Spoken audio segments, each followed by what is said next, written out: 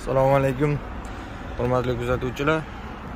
Navbatdagi avtomobilimiz gentra mexanika korobka to'rtinchi pokoleniya gaz установка qilingan. Hozirgi holati benzinda. Ko'rib turgan bo'lsalaring. Taxometrlar o'ynayapti. Benzinda ham gazda ham mana shu ahvol bor. И chek yonib qolgan shu holat bo'yicha bizani oldimizga olib kelishgan bu narsani yo'q qilib programma orqali ya'ni programma orqali hech qanaqa narsasiga tegishmagan holatida bu narsa e, odatda kobitlarda zaslonka to'lib qolsa xuddi ana shunaqa holat bo'lib taxometr o'ynab qoladi.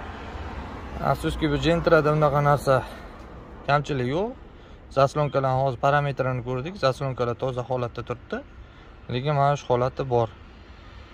Shu kamchilik bo'yicha oldimizga olib kelishdi. Bu narsani programma orqali inshaalloh qilib to'g'irlab beramiz.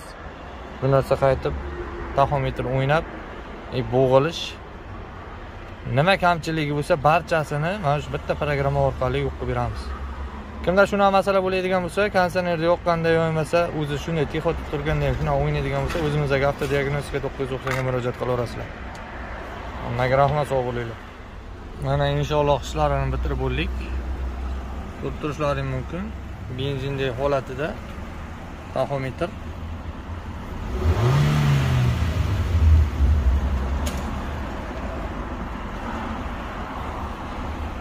joyiga qaytib turadi. E, И konditsioner yoqilganda ham taxometrlar o'ynab qolmaydi.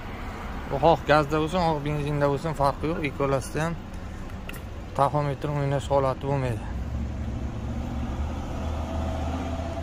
Kimda shunaqa masala bo'lsa o'zimizga murojaat qilsalaring o'zimiz ishlaringni bitirib beramiz.